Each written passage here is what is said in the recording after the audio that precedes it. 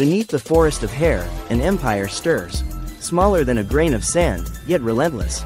This is the head louse, Pediculus humanus capitis. Six legs, curved claws, engineered to cling to human hair.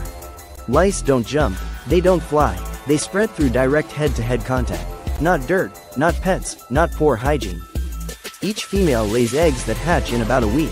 Nymphs mature in days, miss the eggs, and the cycle begins again. Itching isn't a bite, it's your immune system reacting. Some people feel nothing at first. And despite the fear, head lice do not transmit disease. Treatment works, when done correctly.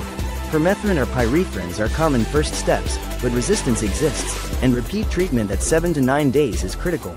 No sprays, no panic, no stigma, check close contacts, treat carefully, because science, not fear, breaks the cycle. Follow for evidence-based health education. Prevention starts with knowledge,